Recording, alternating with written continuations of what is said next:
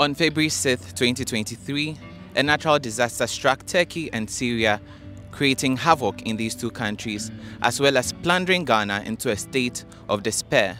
This was because among the victims was our very own Christian Atsu, who was actively involved in the Black Stars, the national senior team. President Akufo-Addo, together with over 31 million Ghanaians, prayed for his safety as well as others stuck under debris. In about 24 hours after the incident, it appeared that the prayers of Ghanaians were answered as reports came that Christian Atsu had been found and sent to a health facility for medical attention. This happiness was short-lived as contradictory reports emerged. Christian Atsu was still missing and rescue efforts were underway. 12 days after the incident, on February 18, 2023, the Turkish government confirmed that it had found Christian Atsu, but unfortunately, he was not among the living.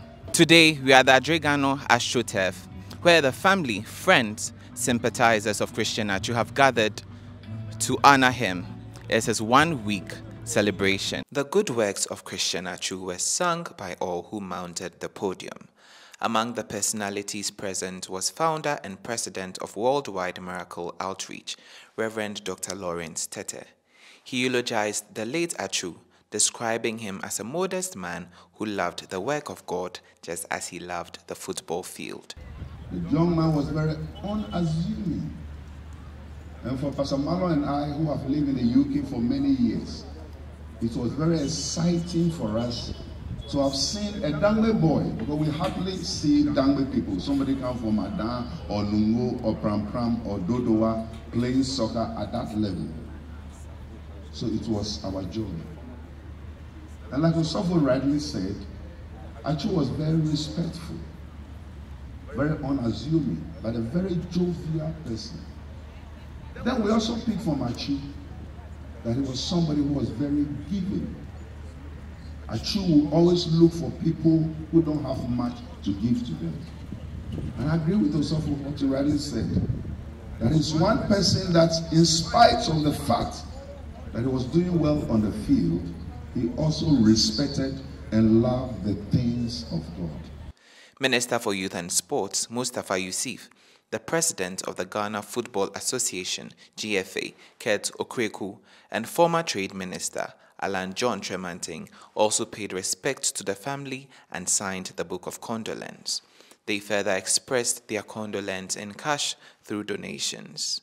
Some former players of the Black Stars, including Asamoah Gyan, Sulley Muntari, Derek Boateng, Stephen Appiah, and Samuel Osei also made attendance to honor their late colleague.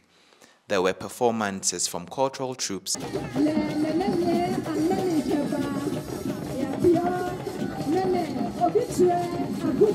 The Supporters Union of Ghana.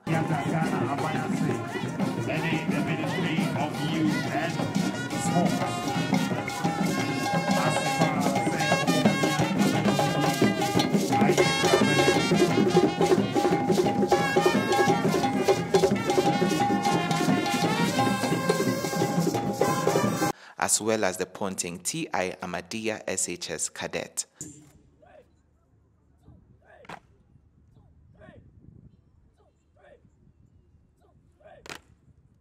And that's a beautiful cadet display by the former school of the late Christian Atsu Twasam.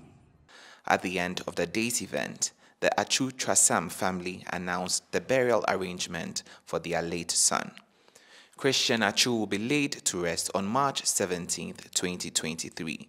The funeral rites will take place at the forecourt of the State House in Accra.